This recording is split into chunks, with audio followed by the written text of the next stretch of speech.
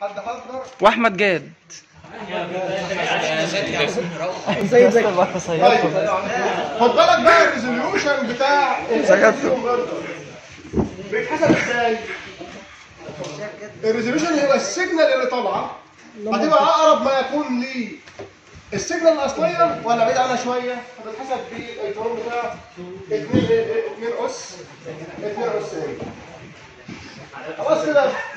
خد بالك إن الايتو دي كونفرتر والتيتو اي كونفرتر والهولدر والحاجات دي كلها لا- لها تعريفات ال A to D converter هو عبارة عن بيقول لك ده process بيحول فيها ال analog signal ليه أو ال continuous time signal ليه؟ digital signal ال holder دي process بيحول فيها ال signal اللي خلاص بقى هيعمل لها reconstruction أو ال digital signal ليه؟ analog signal. لأن ال holder بيقوم واقف عند sample معينة.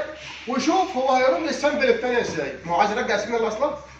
هيشوف هو بيتحرك إزاي. فدي برضه process بيعمل فيها إيه؟ بيعمل فيها hold بيرجع فيها ال discrete time signal ل analog signal تاني لاصلها بس بيرجع طبقا لحاجة معينة.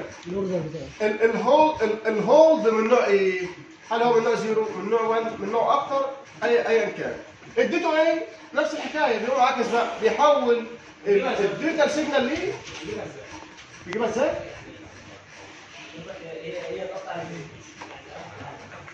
آه كل ده بالرياضه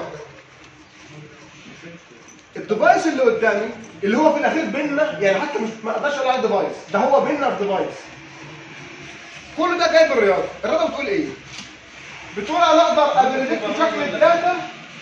أقدر أ predict شكل ال data. يا إما between two samples يا إما بره two samples إزاي؟ مثلا أهو. أنت عندك signal متقطعه صح؟